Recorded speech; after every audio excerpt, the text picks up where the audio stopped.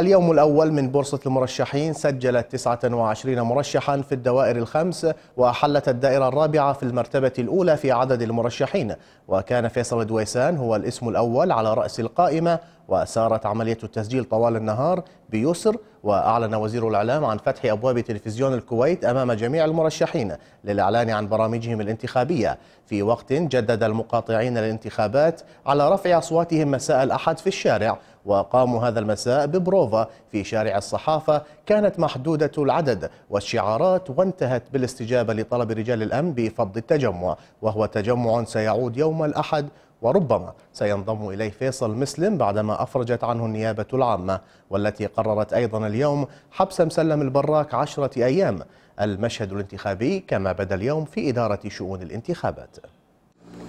فتحت إدارة شؤون الانتخابات أبوابها اليوم للراغبين بالترشح لانتخابات مجلس الأمة مع بداية الدوام الرسمي على أن يستمر الترشيح لمدة تسعة أيام قادمة.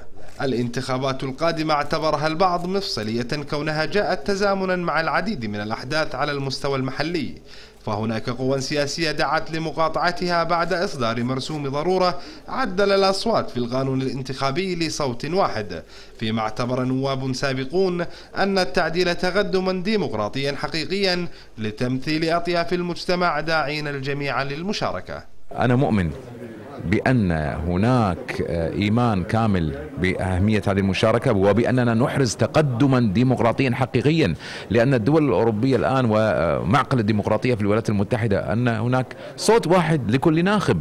فإذا كان هذا الخيار الذي صدر بمرسوم وتدابير من سمو أمير البلاد يعتبر في نظر الأوروبيين في الغر... ونظر الغربيين هو يعني تقدم ديمقراطي وليس تقهقر أعتقد لأول مرة لأول مرة في تاريخ الكويت راح يطلع مجلس بإرادة حرة للناس. هذا راح يطلع انعكاس دقيق لهم مثل ما هو في كل دول العالم. مجلسنا اللي فات واللي أنا كنت فيه كان مزور الحمد لله يبطلوه لأنه كان في تحالفات.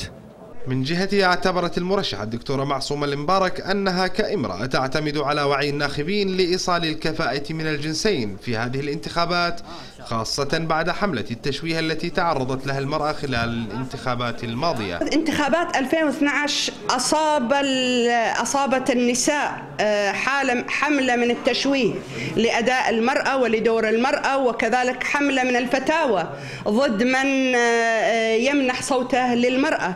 نتأمل بأن الشعب الناخبين والناخبات أصبحوا أكثر وعيا بأن العملية الانتخابية هي عملية وطنية يشارك بها الأكفأ امرأة أو رجل.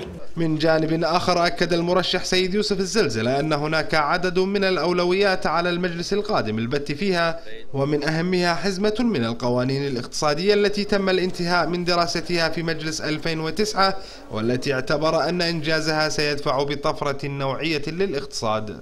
مجموعة من القوانين الاقتصادية اللي كان من من المفترض أن تقر. أولا قانون المناقصات العامة وهذا مهم جدا. ثانيا التعديل على قانون ال BOT والذي كان متواجد لكن مع الأسف لم يسعفنا الحظ حتى ننجزه. ثالثا قانون الوكالات التجارية. لو استطعنا أن ننجز هذه القوانين التي هي في أدراج مجلس الأمة السابق سيكون طفرة نوعية كبيرة جدا نحو التطور والرقي انتهى اليوم الأول لفتح باب الترشيح لانتخابات مجلس الأمة على 29 مرشحا ومرشحة. وسط حالة من التفاؤل سادت المرشحين معتبرين أن إصدار مرسوم الضرورة بتعديل عدد الأصوات أعطى فرصة حقيقية لتمثيل كافة أطياف المجتمع الكويتي. حمد النبهان من إدارة شؤون الانتخابات قناة الكوت.